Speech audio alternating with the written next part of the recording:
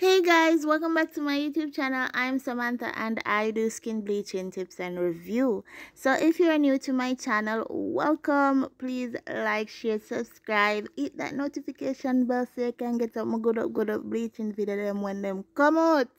Yeah, if you're always been a supporter, thank you so much and thank you so much for coming back so today in this video i'll be talking about the dr special egyptian whitening milk. Yes so if you're interested in this topic stay until the end of this video. Big up yourself.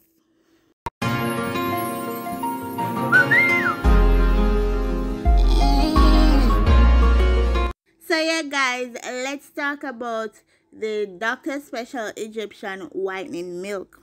Yeah, so what is it?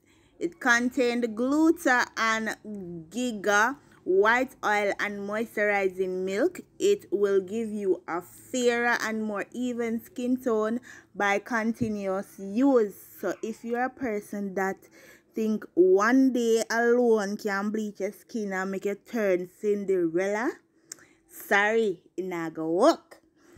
Alright? Its velvety formula respect the natural balance of your skin. It has been approved by the dermatological laboratory that guarantee you its quality. I don't me talk about it, I love when things are good quality. Because I'm not like by foolishness. Honestly. I'm not like talk about foolishness. Yeah all right the all right. What does egyptian milk do to the skin? Milk is enriched with vitamin a and e. This way it is refreshed and refreshes the skin nourish it make the skin elastic and beautiful Vitamin B helps in getting rid of wrinkles and a lot of people have those problems and they want get rid of the wrinkle them. And they want us, you know, get something where, you know, if somebody could have get one, one cream where just wipe out all your wrinkles them. And it's so cheap, cheap, cheap. Yo, that's other nice. But everything's so expensive. As them find out say one thing good so them start raise the price. I me can't bother so my time honestly. Yeah.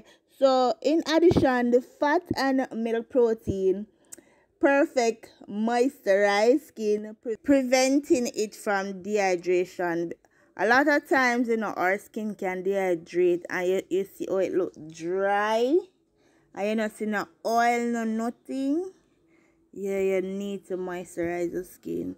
And if you're a person that have oily skin don't use too much oil.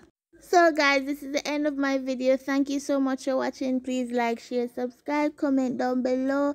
And remember i'm do video every single day. You can come back tomorrow and check out a brand new video. Yes and you can go on my video platform and check out my rest of my video them mom already upload.